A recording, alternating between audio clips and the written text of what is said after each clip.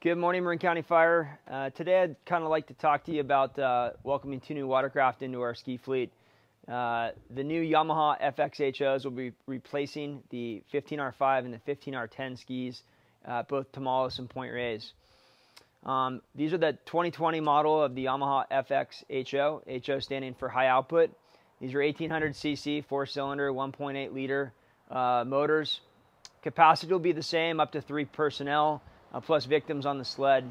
Dry weight of uh, 836 pounds, and they're a little bit longer and a little bit wider. Uh, working on replacing the ski trailer at Point Reyes so that it fits pretty well.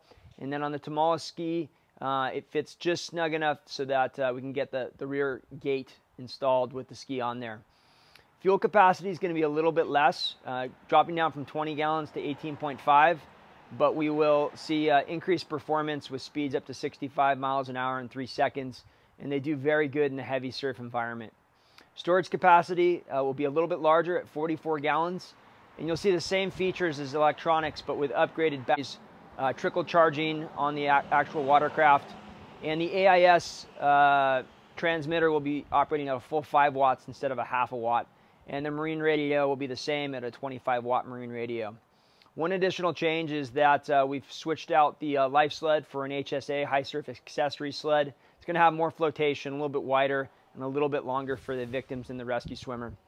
Some other features that you'll see on the new watercraft are cruise control, a touchscreen display, and trim control for the operator. Uh, these new watercraft will uh, have a life expectancy about 10 years and should service uh, Point Reyes and Tomales very well in uh, the coming uh, year as we get these out and folks get some stick time on the actual watercraft. I'm going to have Shane uh, go over some of the technical features and some of the uh, operational procedures for the uh, watercraft. Thank you. Before putting the ski in the water, make sure the two rear drain plugs are securely fastened, not over tightened, and threaded correctly. Next, lift off the rear seat and reach in and make sure the battery switch is pointing up at 12 o'clock. If it's pointing to the left at 9 o'clock, that disconnects the batteries from the ski. If it's pointing in the 2 o'clock position, that is enabling both batteries to start the ski in the case that one battery is low on charge. Only use the 2 o'clock position if the ski will not start on its primary battery. Otherwise, run and charge the ski in the 12 o'clock position. As well as the battery switch, you also need to turn on the other electrical switches inside the compartment, which consist of the radio, the AIS, the bilge. All three of those need to be on during operation. And at nighttime, you have a navigational light switch that's in there as well. On the front of the bars, you have the start switch. Press it once quickly to activate the screen. Press and hold to start the ski. Uh, one of the most important things for you to know is that reverse now is achieved by pressing this ride lever. Press it once and it dumps the reverse bucket and you're going in reverse. On the right side of your bars here, you have a no wake button, basically gets you out of the harbor at an idle speed. You got a cruise control feature, up, down, and on the front, you've got your throttle lever right here. From the rider's position, if you look forward, you can see the touchscreen. On the left, you've got trim control. You've got battery voltage below that. You've got your speedometer right in the middle with a tachometer on the bottom and your fuel gauge on the right. To the left of the screen is your AIS antenna.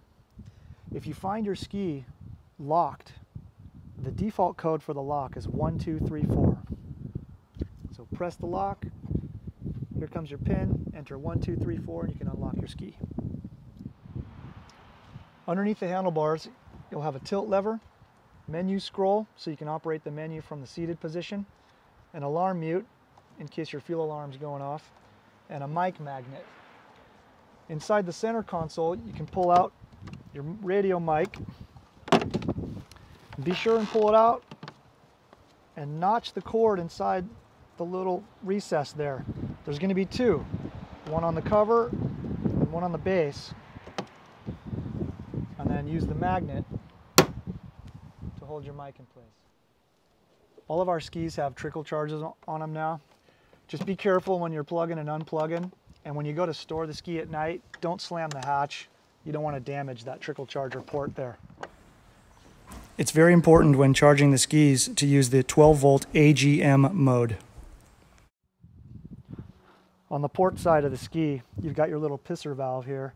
Anytime the engine's running, make sure you're getting water exiting out of this little hole.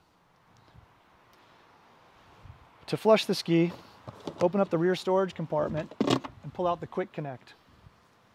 Open the port, push, quarter turn, hook up your garden hose, start the engine, flow the water, stop the water, stop the engine. If you're going to operate at night, make sure you turn on your navigational lights. Port side red, starboard side green, aft is white. At the rear of the ski, you'll find your bilge pump exit port, as well as your tube and throw bag hanging off the grip handles. The new sleds we have on our new skis are made by High Surf Accessories. They're wider, lighter, with better grip handles, with a lot more float. This is just a brief overview of this new ski. You're going to see them at Tomales, Point Reyes, and Station 1 in Southern Marin.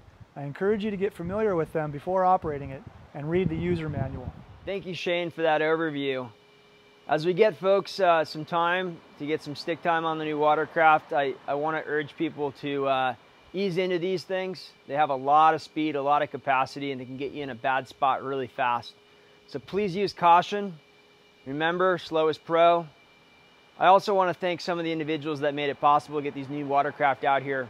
Willie Krakauer especially spent hours and hours uh, working on the electronics and capacity upgrades with the batteries, the AIS, and the, the radio systems, as well as Pat, Graham, Jesse, that all assisted with getting all the fabrication work and uh, the decking on the, on the vessel. Thanks so much, and I appreciate everyone's support in our water rescue program.